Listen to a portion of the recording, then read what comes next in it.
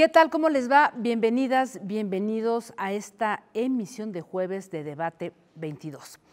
Bueno, en estos tiempos recientes, cuando la defensa de la cultura indígena, su lengua, comida, vestido y sus formas particulares de pertenencia y arraigo, pues han tomado importancia en las agendas públicas, hoy en debate damos paso a la reflexión para pensar nuestras culturas originarias desde el arte, desde lo más íntimo, la creación, porque lo personal también es político.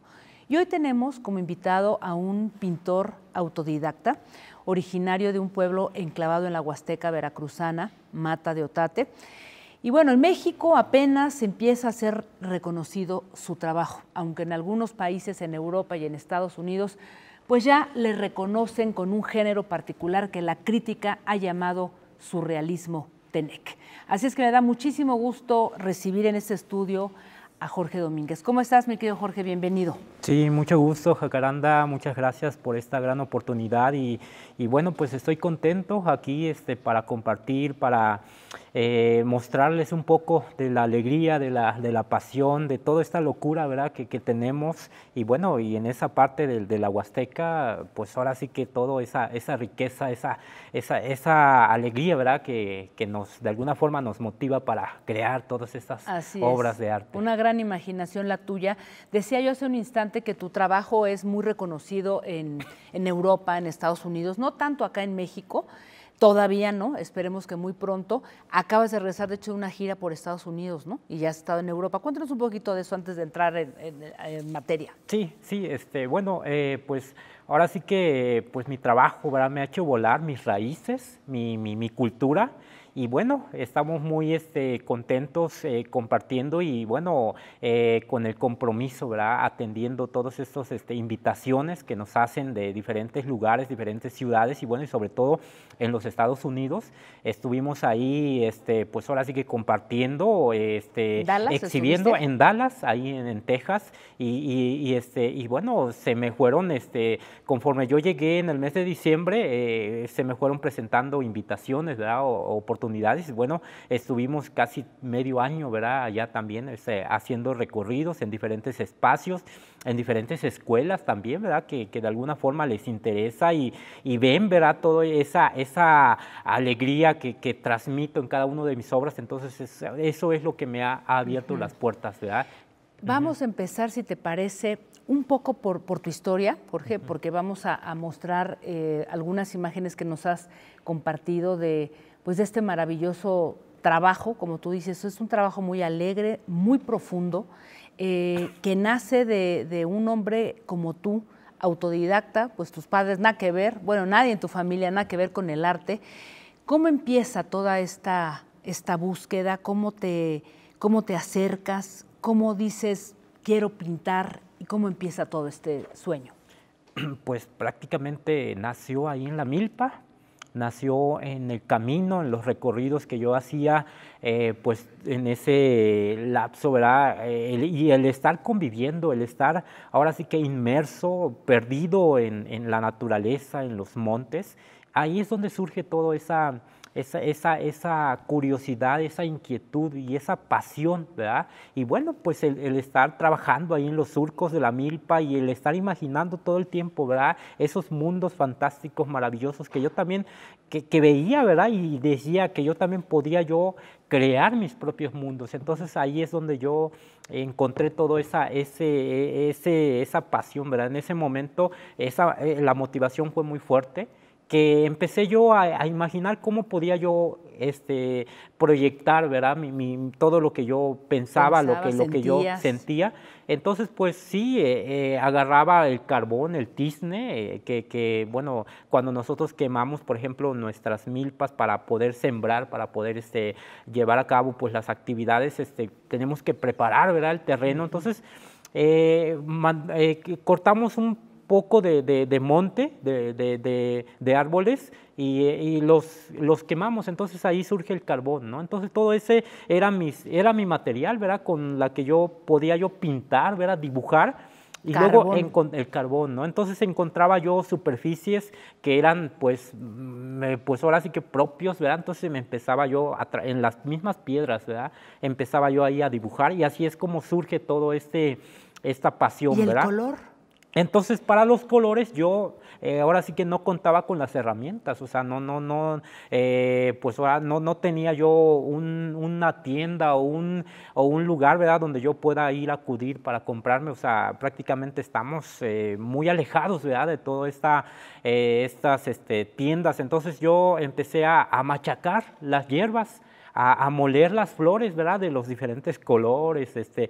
Entonces, eh, ese eran, ahora sí que eh, los colores, ¿verdad? Ahí yo ya tenía los colores y bueno, y cuando mi mamá, por ejemplo, preparaba sus salsas también, ¿verdad? En el molcajete y todo eso lo usaba, ¿verdad? Para yo colorear mis dibujos. Entonces, para los pinceles lo que yo hacía era cortarle un pedazo de la cola de los becerros, de los terneros, de las terneras, entonces eh, ahí y los amarraba sobre una varita, ¿no? Entonces ya eso era mi pincel, ¿verdad? Entonces ya, ahora sí que era feliz ya dibujando, era feliz ya pintando, dándole color a, mis dibujos, ¿verdad? A mis ideas. Entonces así nació. Nunca te imaginaste, por supuesto, eh, ni tenías, este, te, pasaba por la cabeza que eso pues fuera, tuviera una eh, influencia surrealista. Eh, sí, exactamente, o sea, no, imaginaba, o sea, solamente era pintar, era estar ahí este, eh, proyectando, plasmando lo que yo pensaba, lo que yo sentía, creando mis propios mundos. Entonces,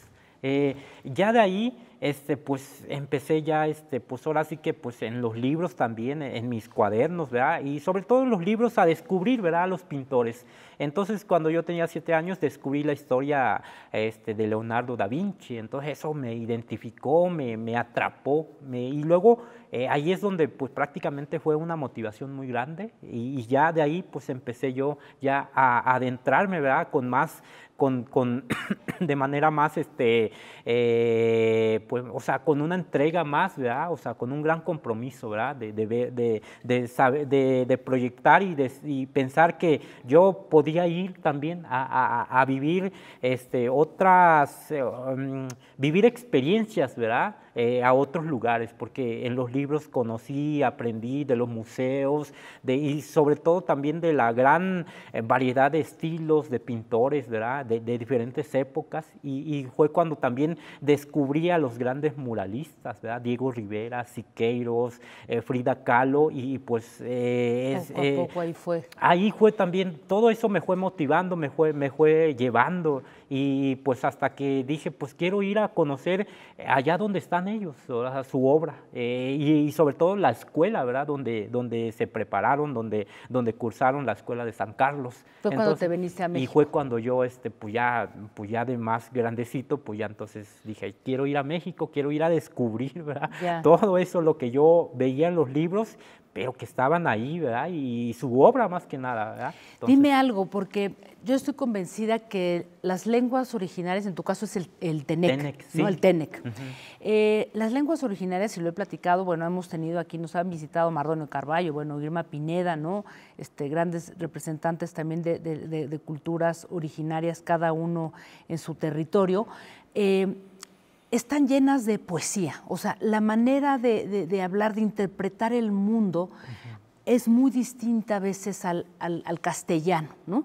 Y eso también te da la posibilidad, no sé, tú ya me dirás, de imaginar, de pensar y de nombrar desde otro lugar y es muy probable que desde ahí tu, pintura, tu obra se haya pues contagiado de esa poesía, ¿sí?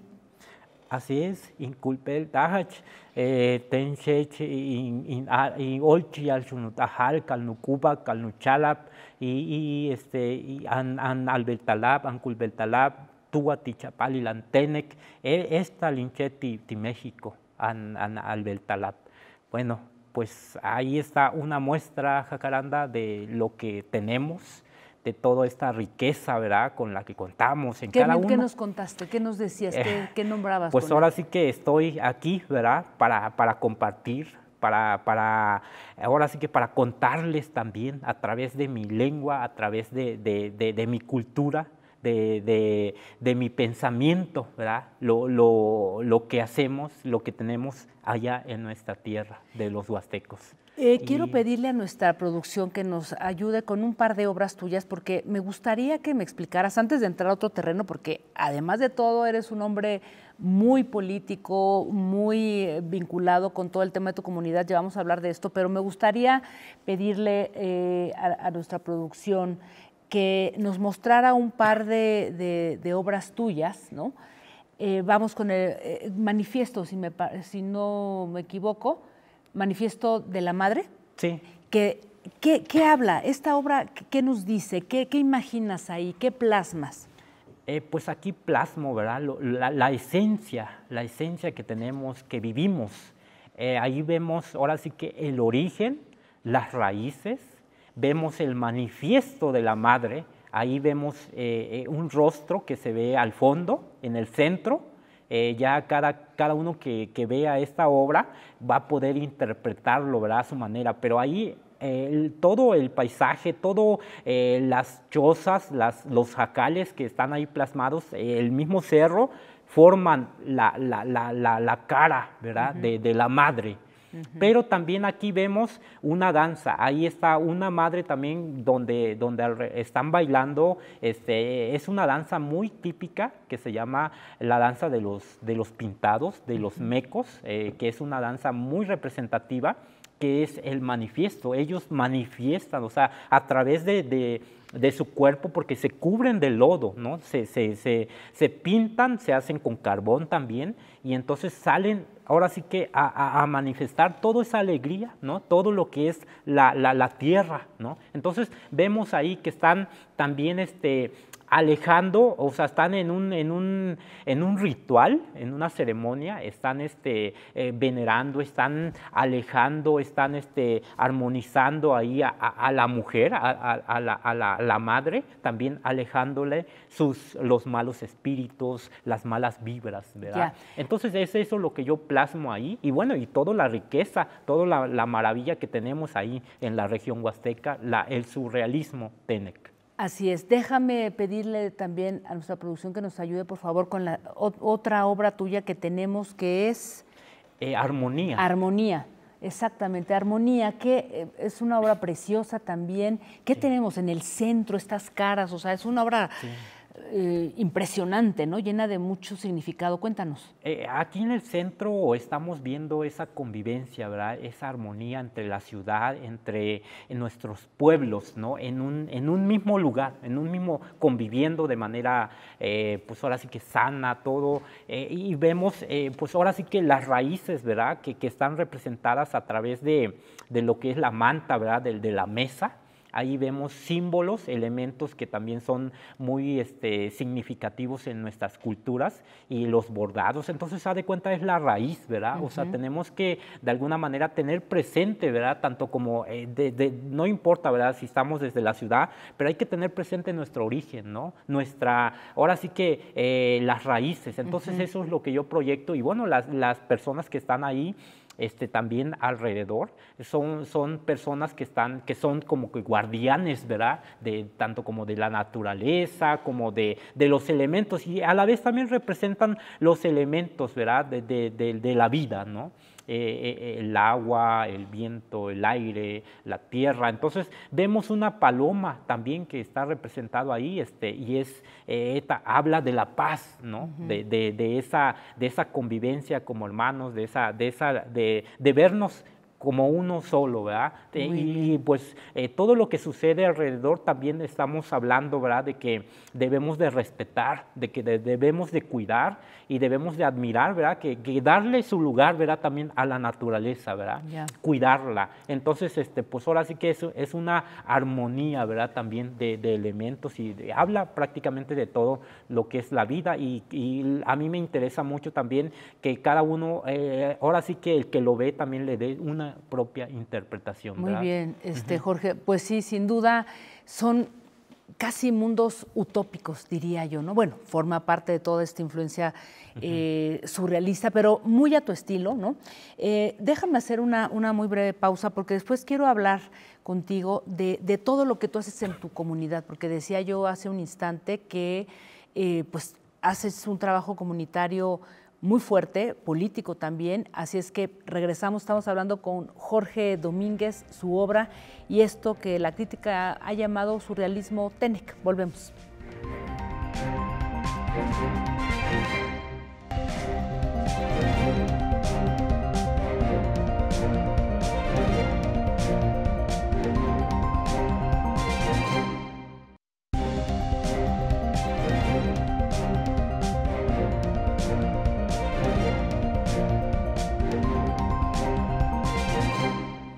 Bien, seguimos con Jorge Domínguez, pintor autodidacta. Eh, bueno, pues él, es originario de, la, pues de la mera Huasteca Veracruzana, mi querido Jorge. Muchísimas gracias por estar aquí con nosotras. Eh, antes de irnos a la pausa, eh, te decía yo el trabajo que has hecho en tu comunidad. Cuéntanos un poco de este lugar de donde tú vienes y lo que, pues, lo que has estado trabajando ahí ¿Y por qué? Porque te lanzaste como candidato, ¿no? A un puesto de elección popular. Cuéntanos. Sí, así es. Este, bueno, eh, ahora sí que eh, antes de la pandemia, este, también, este, pues bueno, decidimos, ¿verdad? Irnos para allá a, la comunidad también.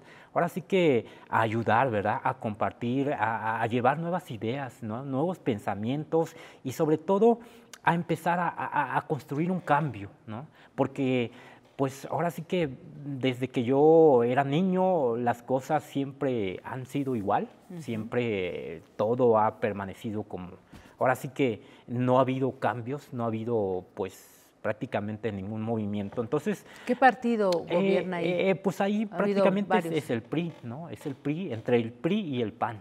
Y entonces, bueno, pues vemos que es la misma, o sea, es lo mismo de siempre. Eh, no, no tenemos avances, no tenemos cultura, no tenemos ahora sí que apoyos, bueno, cultura tienen, pero no los apoyos, Exactamente, exactamente, o sea, no, no, desconocemos, ¿verdad? Muchas cosas y, sobre todo no valoramos, ¿verdad? Lo que tenemos y lo que somos. Entonces, de alguna manera, a, las personas que siempre han estado este, como autoridades, eh, los que han estado, han llegado, pues siempre nos han metido otras ideas, ¿verdad? Siempre han ido a, pues ahora sí que a, alejarnos prácticamente, ¿verdad? ¿De verdad? Sí, este, y entonces a, a desconectar conectarnos, ¿verdad?, de nuestra esencia. Entonces ¿Por yo... Qué? ¿Qué, qué pasaba? Eh, porque, pues, eh, otras ideas, ¿verdad?, otras mentalidades y sobre todo siempre buscando eh, cómo aprovecharse, ¿verdad?, de la gente, ¿verdad?, porque pues prácticamente es, es un municipio, pues, compuesto por, la, por el 80% de gente indígena, ¿verdad?, del campo. Entonces hay son gente... Tenec. Tenec y, Tenec y Nahuas, ¿no? O sea, ahora sí que convivimos ahí en, en ese lugar. Este, entonces, bueno, pues han pasado todas esas historias y no vemos ningún avance. Entonces yo dije, pues ahora sí que ya es momento, ¿verdad? También de que nosotros como indígenas, nosotros como, como pueblos originarios, también ya ocupemos, ¿verdad? Un lugar porque siempre estamos dependiendo, ¿verdad? Siempre estamos esperando a a los licenciados, a los abogados, a los ingenieros, a toda esa gente que, que de alguna manera a veces se prepara para poder, para de, o sea, se, eh, eh, se, prepara para saquear, ¿verdad? O sea, prácticamente con esas palabras, ¿no?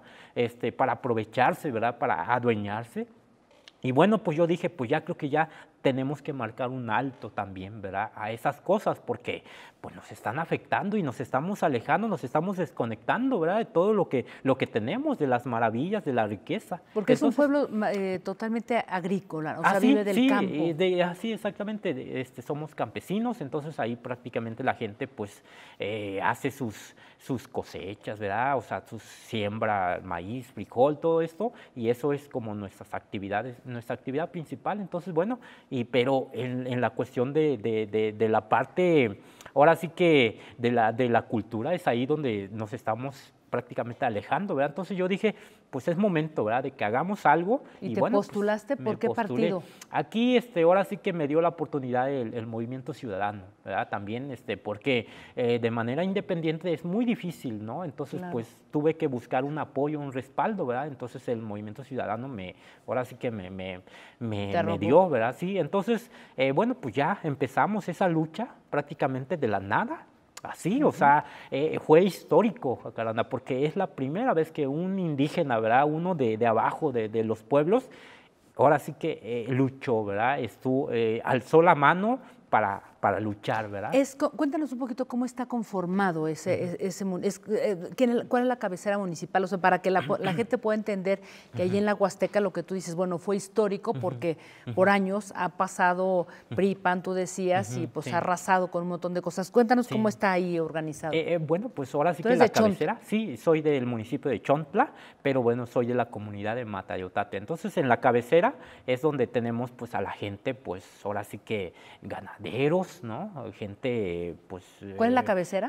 Chontla. Chontla. Chontla es la, la cabecera. Entonces, ahí tenemos gente pues preparada, gente maestros, ingenieros, o sea, ahora sí que son gente que llegaron de otro lugar, ¿verdad? Que llegaron a establecerse ahí porque vieron que pues era un lugar adecuado, ¿verdad? Para hacer sus potreros, para hacer este, negocios de ganadería, ¿verdad? Todo esto. Entonces, pues ellos llegaron, ¿verdad? Con esa intención y vieron como que somos pura gente campesino, ¿verdad? Entonces ellos de alguna manera han tomado, pues, eh, pues la, eh, ahora sí que el control, ¿verdad? De, todo. Entonces, pues yo dije, pues, ¿y nosotros qué, verdad? Si nosotros somos los que, los que estamos aquí desde siempre, ¿verdad? Entonces dije, pues es momento, ¿verdad? De, hacer esta lucha. Perdiste. luchamos a Caranda, estuvimos ahí compartiendo, comunicando a la gente, enseñándoles, ¿verdad? Otra mentalidad, otras ideas y bueno, y sobre todo eh, exponiendo lo que somos, ¿verdad? Con nuestra lengua, con nuestra cultura. Así es como hicimos nuestra campaña, Jacaranda, pero, pero ya al final... Toda una maquinaria encima. el dinero, ¿verdad? El dinero, Jacaranda, ese que siempre influye, ¿verdad? Pero pues bueno, diste la pelea, este, querido Jorge, y yo creo que eso es lo importante, como tú dices, ¿no? Sobre todo en este tiempo, y lo platicábamos hace ah, algunos días, eh, sobre lo que ocurre ahora, esta, esta apropiación oportunista, muy hipócrita de políticos, políticas, ¿no? De yo soy indígena. O sea, ¿qué piensas de todo eso? Sí, pues es, son, temas, ¿verdad? Que ahora sí que son muy comunes ahora, ¿verdad? Por lo mismo que ya estamos también nosotros este, levantando la mano, pero bueno, pues nosotros seguimos en la lucha, ¿verdad? También desde allá abajo y bueno, pues aquí a través de todo, de nuestras actividades también estamos, ahora sí que este eh, exponiendo ¿verdad? nuestro sentir, nuestros, nuestros pensamientos y, y, sobre todo ¿verdad? Eh, vemos que estamos este, rodeados ahora ya con, con varias personas que a veces pues nada más lo hacen ¿verdad? Para, aprovecharse. Para aprovecharse, sí, exactamente. Entonces, bueno, pero, pero ya creo que de alguna manera nos estamos empoderando ¿verdad? desde las comunidades, ya sabemos ¿verdad?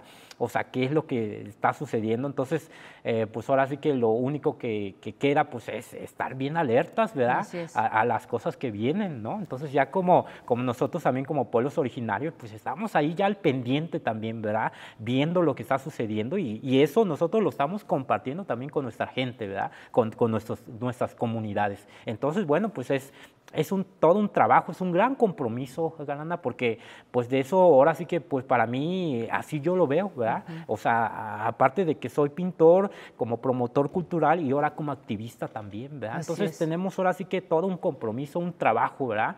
Que, que, que, que, de alguna manera, pues, o sea, en nuestro paso por esta vida, pues tenemos que dar un, buen ejemplo, tenemos que dar buenos pasos y tenemos que hacer algo, ¿verdad? Dejar un, un pequeño legado también y, y bueno, pues ahora sí que abrir abrir oportunidades y abrir puertas y, y sobre todo hacer ese cambio, esa transformación, Jacaranda, ¿no? Pues ojalá que no, no cambie esta, esta manera de, de, pensar, ¿no? Que tienes tan transparente y, tan honesta, siempre lo he dicho. Antes de irnos, quiero compartirle eh, a la gente, incluso veremos las últimas imágenes, Estás por participar en este gran jardín surrealista de Edward James, que está en Gilitla, y pronto vas a tener una intervención, tu obra se va a poder ver ahí. Cuéntanos un poquito de esto antes de irnos. Sí, así es. Bueno, pues ahora sí que pues ya llegaron los tiempos, ¿verdad? También para, para la explosión surrealista moderna, ¿verdad? Es, ese surrealismo TENEC ahora desde, desde directamente desde la milpa, ¿no? Estamos ahora sí que ya eh, colaborando, ya estamos en pláticas para poder llevar a cabo un proyecto también importante ya dentro del Jardín Surrealista de Edward James y empezar a conectar, ¿verdad? Ahora sí que a las huastecas, sobre todo, ¿verdad? Esa parte de, Veracruz con, con, San Luis Potosí, ¿no? Eh, y crear esos lazos ya de mucho surrealismo, porque prácticamente toda esa zona es fantástica, es extravagante, está lleno de, tanta, de tantas maravillas, tanta, tanta cultura. Y entonces, pues estamos también desde mi municipio, ya también eh, con la Fundación Pedro y Elena, este, ya ahora sí que dando los primeros pasos. Para también llevar a cabo proyectos desde mi municipio. Eh, ahí en Chontla, ahí en la estación de, campo Sierra de Otontepec, y bueno, y la conexión con, con ¿verdad? con la Huasteca Potosina, y bueno, pues empezamos ya con estos proyectos, y bueno, pues vendrán muchas cosas bonitas para toda esa zona de, la Huasteca, ¿verdad? Y, con mucho arte, mucho color, y sobre todo, pues ahora sí que eh, el surrealismo ahí, ¿verdad? En, todo, en su máximo esplendor, Jacaranda. Pues te agradezco mucho, querido Jorge Domínguez, uh enhorabuena. Eh, yo siempre he, admirado, respetado tu, honestidad ¿no? y tu obra, así es que pues es un gusto tenerte aquí en el estudio y adelante vamos a estar pendientes de este gran proyecto que se va a hacer ahí en este jardín, ¿no? Este surrealista Edward James. Sí, Mucha suerte. Gracias por estar por acá. Sí, muchas gracias, Jacaranda. Gracias por esta gran oportunidad. Ah, que te sigan en tus redes también. ¿Estás Facebook, Instagram tienes? Sí, en Facebook como Jorge Domínguez Cruz, artista plástico, y también en Instagram como Jorge Arte Huasteco. Ahí me pueden este, pues también estar este, siguiendo y pues ahí estamos interactuando, compartiendo también todo lo que estamos eh, logrando, ¿verdad? También lo que estamos haciendo, el trayecto y, y las actividades que estamos llevando a cabo, también las exhibiciones, las exhibiciones aquí en la Ciudad de México, en Coyoacán, y bueno, pues también vamos a participar este, también en la, en la Fiesta Nacional de los Pueblos Originarios en el Zócalo, que pues ya también estamos ahí este, en pláticas y bueno, pues muchas cosas, muchos proyectos y también nuestro regreso otra vez a Estados Unidos, a Caranda, otra vez vamos a, a, llevar nuestro trabajo allá en el mes de octubre y y bueno, pues estamos trabajando con muchos proyectos acá. Te agradezco mucho, Jorge Domínguez, y bueno, gracias a todas y a todos por habernos acompañado. Recuerden que el programa se sigue transmitiendo simultáneamente, eh, bueno, ahora se queda en Twitter, en Facebook e inmediatamente en YouTube a través de la cuenta N22 Digital o Noticias 22. Así es que nos vemos el próximo jueves. Hasta entonces.